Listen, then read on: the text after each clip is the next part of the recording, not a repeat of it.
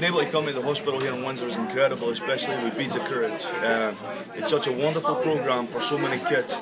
It's an indication of bravery and courage, and it's an absolute pleasure for me to be part of that and to be able to come here and support such not only a wonderful hospital but a wonderful program. And uh, we look forward to coming back for years to come. Thank you, guys.